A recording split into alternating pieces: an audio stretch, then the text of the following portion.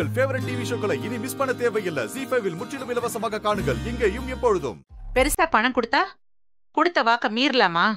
பிராமி ஐயாயிரம் ரூபானா? அசையாத மனசு. ஐம்பதாயிரம்னு சொன்னா லேசா யோசிக்கும். அதுவே அஞ்சு லட்சம்னா அடிமை சாசனமே எழுதி கொடுக்க ரெடி ஆயிடும். பணம் பத்தும் செய்யுங்கிறது சும்மா இல்ல அபிராமி.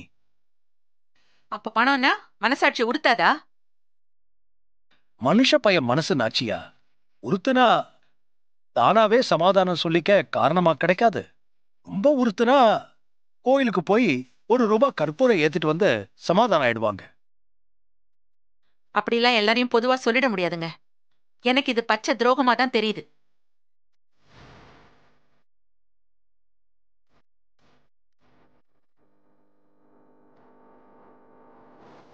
அஞ்சு லட்சம் நமக்கு சின்ன காசு அபிராமி. அதனால நீ இப்படி பேசுற. இதே அஞ்சு கோடி தரேன். இந்த போட்டியில இருந்து கார்த்திய விலகிக்க சொல்லுங்கன்னு உன்கிட்ட டீல் பேசுனா என்ன பண்ணுவ? பாத்தியா? ஷாக் ஆகி நிக்கிற. பணம் யாரையும் அசைச்சு பாத்துரும். அதுதான் உண்மை. விதிவிலக்கு இருப்பாங்க. ஆனா பெரும்பான்மை இப்படிதான் இருப்பாங்க. அப்பா முதல்ல அந்த கான்ட்ராக்டே அவ்வளோலாம் இல்லைப்பா. நீங்க என்ன? அதுக்குள்ளே கோடிக்கணக்கில் சொல்லி ஷாக் கொடுக்குறீங்க. இது கான்ட்ராக்டுக்கான வேலை நான் நினைக்கிறேன். இது சிதம்பரத்தோட ஈகோக்கான வேலை.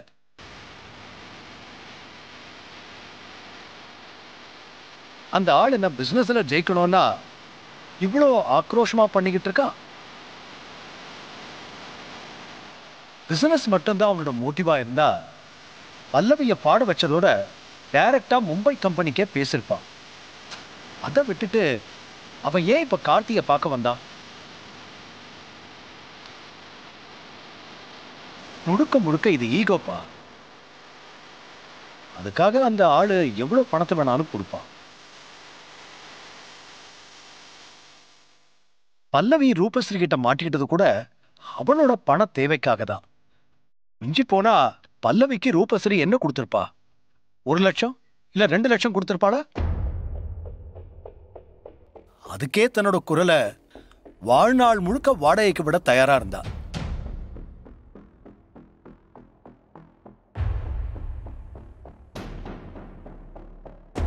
இப்போ சிதம்பரம் மாதிரி ஒரு பெரிய ஆள் டீல் பேசுறான்னா கண்டிப்பா ஒரு பெரிய அமௌண்ட் தான் கொடுத்திருப்பான்.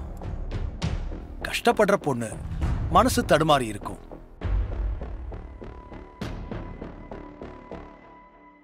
இதெல்லாம் பிசினஸ்ல சகஜம்னு நினைச்சுக்கிட்டு கடந்து போயிடுறது தான் நல்லது.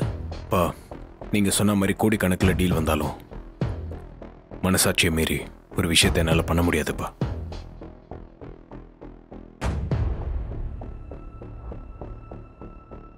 எனக்கு அப்படி ஒரு துரோகத்தை பண்றவங்களையும் என்னால் எந்த ரீசனுக்காகவும் ஏற்றுக்க முடியாது.